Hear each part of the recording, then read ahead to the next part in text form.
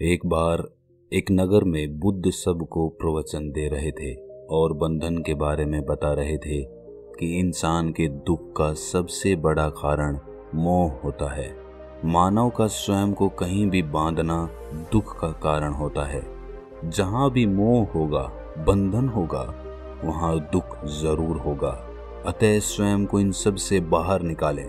अपना उपदेश खत्म कर बुद्ध वापस आ गए।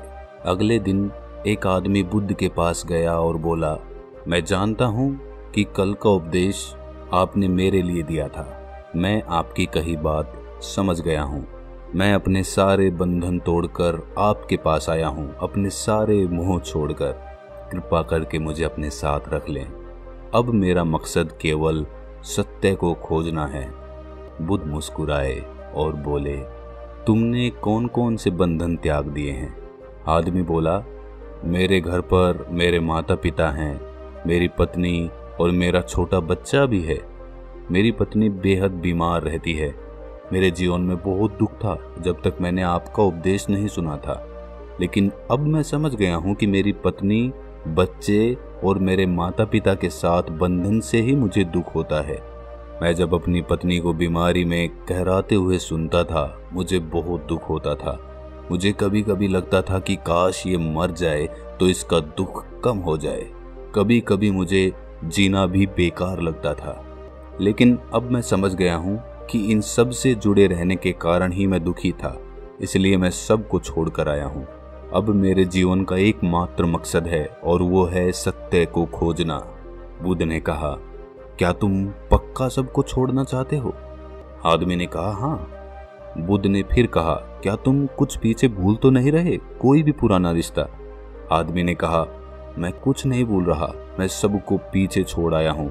मैंने अपने परिवार का त्याग कर दिया तो कर दिया। अब पीछे मुड़कर उन्हें कभी नहीं देखूँगा। बुद्ध मुस्कुराए और बोले, आज की रात तुम विश्राम करो, कल सुबह मुझसे आकर मिलना। आदमी पूरी रात आश्रम की चीज़ों को देख, सोचने लगा कि मैंने आज तक अपना समय सिर्फ़ बर्बाद ही किया है। अब वो ऐसे महान कार्य का हिस्सा होने जा रहा है, जिसका खुद बुद्ध संचालन कर रहे हैं। बुद्ध की कृपा से उसे जीवन का सही मकसद मिल गया है। अगले दिन सुबह सुबह ही वो आदमी बुद्ध के पास गया और बोला, बताइए, क्या आदेश है मेरे लिए? तुम्हें पूर्व की ओर जाना है। वहाँ गाँव में तुम्हें एक सादिका नाम की महिला मिलेगी। वो एक ज्ञानी स्त्री है। वो तुम्हें जो भी दे, तुम्हें लेकर आना है। वो आदमी वहाँ के लिए निकल गया। रास्ते में बहुत तेज धूप थी। उसे बेहद भूख लगी थी। दूर तक का सफ़र था। वो काफ़ी थक भी गया था। वो आदमी रास्ते भर सोचते हुए गया कि अगर वो घर पर होता तो इस धूप में घूमने की जगह आराम कर रहा होता और भोजन कर रहा होता। सोचते सोचते वो सादिका के गाँव पहुँच गया। वहाँ पहुँच उसने सादिका को देखा। वो बेहद खूबसूरत थी। वो उसे देखता ही रह गया। सादिका ने इस आदमी को देखकर कहा, आप अंदर आ जाओ। मुझे मालूम है आपको बुद्ध ने भेजा है। आपको भूख लगी होगी। मैं आपको भोजन परोस देती हूँ। उसने उस आदमी को भोजन दिया। वो आदमी एकदम हैरान हो गया। ये वही भोजन था जिसके बारे में वो रास्ते भर सोच रहा था। भोजन करते समय आदमी की नज़र सादिका के पैरों पर गई। वो बेहद सुंदर और कोमल थे। सादिका ने कहा कि बुद्ध के चरण अत्यंत सुंदर हैं। उनके चरणों में जिसे स्थान मिल जाए, उसे तब किसी और के चरणों की ज़रूरत नहीं पड़ती। वो आदमी ये सुनकर अपनी नज़रें नीची कर लेता है। भोजन करने के बाद आदमी ने सोचा, भोजन तो हो गया। थोड़ा आराम करने को मिल जाता तो बहुत अच्छा होता। लेकिन अब तो यहाँ से ऐसे ही जाना होगा। सादिका ने कहा, आपने भोजन तो कर ही लिया, थोड़ी देर विश्राम भी कर लीजिए। मैं आपको पंखा कर देती हूँ। वो आदमी सोचने लगा कि ये कैसे संभव है। जो मैं सोच रहा हूँ, वही चीज़ें हो रही है। उसने सोचा कि ये कोई संजोग ही होगा। वो आदमी चादर बिछाकर आराम करने लगा। सादिका उसे वहीं बैठकर पंखा करने लगी। वो आदमी चुप चुप कर सादिका को बार बार देखता। वो कभी उसके चेहरे को देखता तो कभी उसके चरणों को। वो उसके शरीर की सभी आकृतियों को देखता और मन ही मन सोचता कि कितनी सुंदर स्त्री है। एकदम शांत, सुंदर, प्यारी वाणी। इसे तो मेरी पत्नी होना चाहिए था। वो मन ही मन सादिका के लिए कई सारी कविताएँ बना चुका था। थोड़ी देर बाद उसे याद आया कि उसे वापस भी जाना है। सादिका से उसने कहा कि अब मुझे चलना चाहिए। जाते समय आदमी ने सोचा कि एक बार सादिका को फिर से ध्यान से देख लेना चाहिए। इतनी सुंदर स्त्री है। तभी सादिका ने कहा, शरीर में कुछ नहीं रखा। ये तो बस मांस, मज्जा, हड्डी और रक्त का जोड़ है। इसमें कुछ नहीं रखा। ये सुनकर आदमी घबरा गया और बोला क्या आप अंतर्यामी हैं? मन की आवाज़ को सुन लेती हैं? वो बोली, नहीं, मैं कोई अंतर्यामी नहीं हूँ।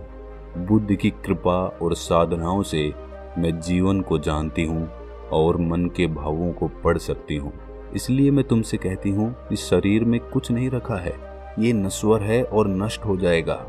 वो आदमी मन ही मन बेहद लज्जित हुआ और सोचा कि इस स्त्री ने मेरी मन की भावनाओं को जानते हुए मेरा इतना सम्मान किया और मैं इसके साथ क्या कर रहा हूँ? मैं एक बहुत बड़ा पापी हूँ। वो आदमी सादिका से नज़र नहीं मिला सका और वहाँ से बुद्ध के पास वापस चला गया और बुद्ध से सब बात कह दी और कहा कि, बुद्ध, मुझसे गलती हो गई है। बुद्ध ने कहा, मैं पहले से ही तुम्हारे मन के भाव को जानता था। अब तुम बताओ, क्या तुम बंधनों से मुक्त हो गए हो?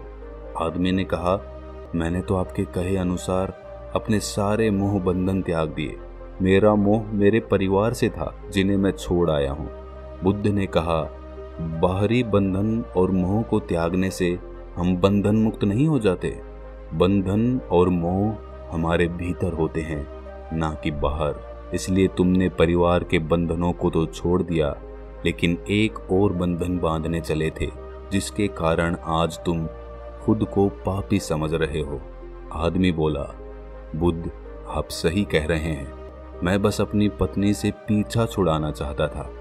लंबे समय से वो बस बीमार रहती थी और मैं कुछ ज़्यादा कमाता भी नहीं हूँ, जिस वजह से मैं अपने परिवार की ज़िम्मेदारी से भाग रहा था। उनसे पीछा छुड़ाना चाहता था और जब मैंने आपका उपदेश सुना तो मुझे लगा, परिवार ही सबसे बड़ी बाधा है। उसे छोड़ने से ही सत्य की प्राप्ति होगी। लेकिन मैं गलत था। मैं समझ गया हूँ कि सत्य की प्राप्ति में सबसे बड़ी बाधा परिवार नहीं, बल्कि मैं खुद हूँ। बुद्ध ने कहा, मैं जो भी कहता हूँ, वहाँ लोग अपने स्वार्थ अनुसार ही सुनते हैं। जहाँ उनका स्वार्थ नहीं होता, वहाँ वो उन बातों को नकार देते हैं।